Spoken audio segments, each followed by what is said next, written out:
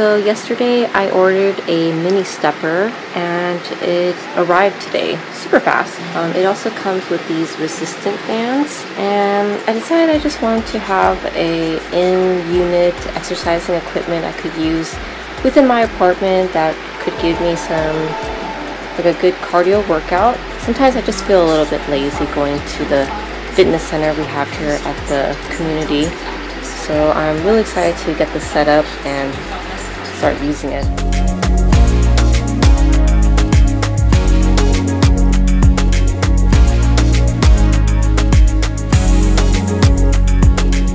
So here is the finished product. It's actually very easy to assemble. Basically, they just ask you to tighten this knob down here. Kind of hard to see. There you go. Tighten that knob.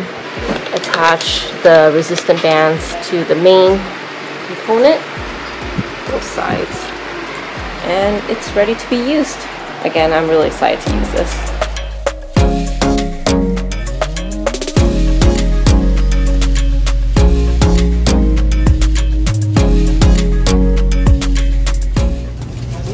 Elena is deciding on which Asian drink she wants. There's just so many options, so she's kind of overwhelmed, but I'm sure she'll be able to decide on a couple. So much of this one when I was younger, Probably when I was in my teens, my mom bought this one like crazy for us.